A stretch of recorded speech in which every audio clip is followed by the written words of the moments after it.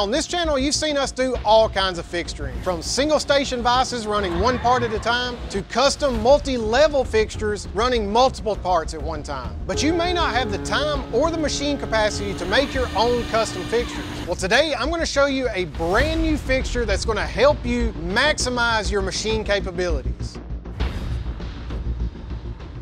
This is the Schunk KSC Mini Pyramid. As you can see, we've got six vices instead of just one. Now you've probably seen us use a larger pyramid in the past.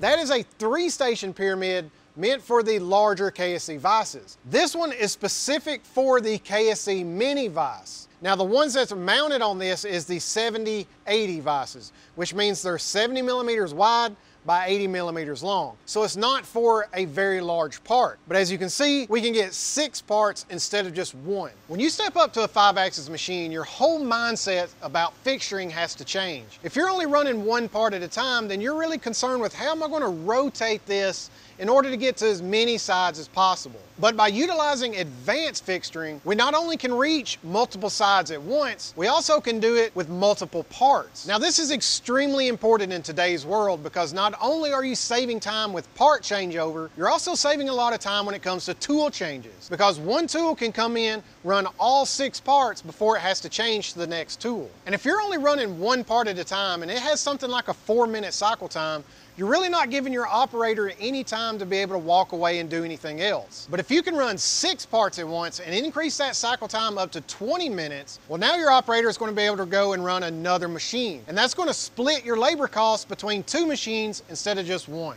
Now the KSC Mini Vices have a very low profile design, which is allowing Schunk to get six vices on such a small pyramid without them all interfering with each other. The top vices are at a 25 degree angle and they're spaced 120 degrees apart. And likewise, the bottom vices are at a 90 degree angle and 120 degrees apart. Now, something I really like about these KSC Mini vices is that they have a quick jaw system. Now, if I look at the back side of the jaw, they've got these grooves here that slide onto the carriage. And once you have the jaws on, they just snap in with this spring plunger. And that's what holds them into place. So all I gotta do is line the jaw up, slide it on, and it snaps right into place.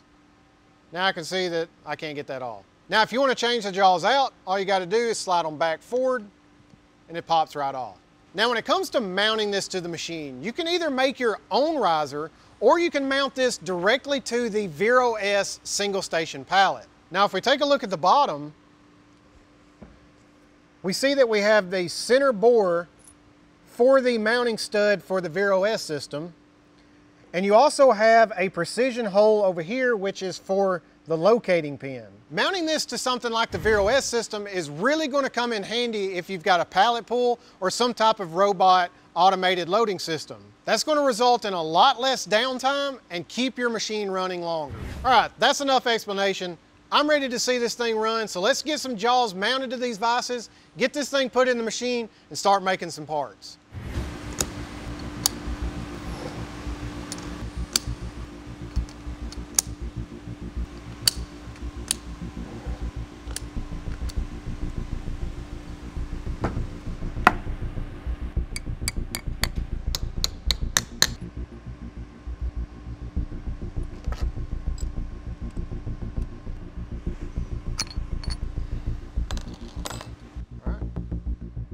Mount up.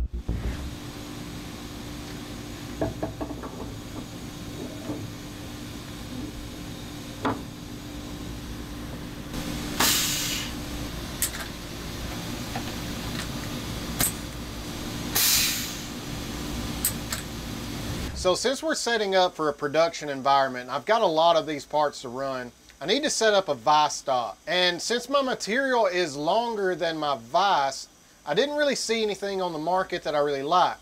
So I decided to design my own. And with the help of Donnie and the Swiss, we knocked it out pretty quick. So I made six of these stops. This piece is gonna thread into the jaw itself. And then we can actually slide this back and forth, and then this pin can slide back and forth as well. That way it can accommodate different material sizes. So I'm gonna mount this to the first vise, and then we're gonna repeat this process for all six parts. If you need tooling and fixturing like I'm using in this video, then be sure to check out titansofcnctooling.com. There, you're gonna find the best prices on all of this equipment.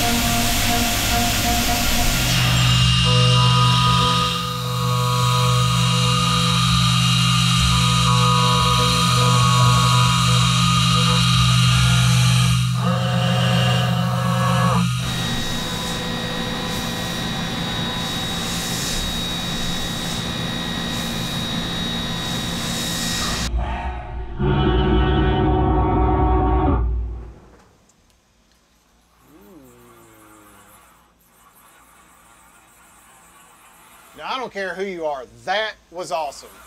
We just took a four minute cycle time up to 25 minutes by running six parts at a time instead of just one. And you know, if you're running production and you're only running one part at a time, that's gonna take forever to get that job done and you're gonna waste a whole lot of time there.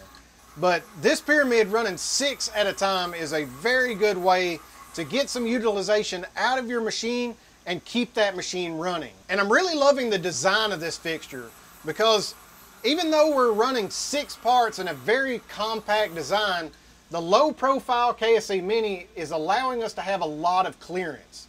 And it's really not too tall for our machine. And you can easily see that the angle that the vices are on, we have plenty of clearance between each part. So it didn't really feel cramped when the tools was coming in on each part, and I really wasn't worried about them hitting the part next to it. Well, I hope you guys enjoyed this video. If you did, give us a like and subscribe, and comment below, let me know what you thought about this pyramid. We'll see y'all next time.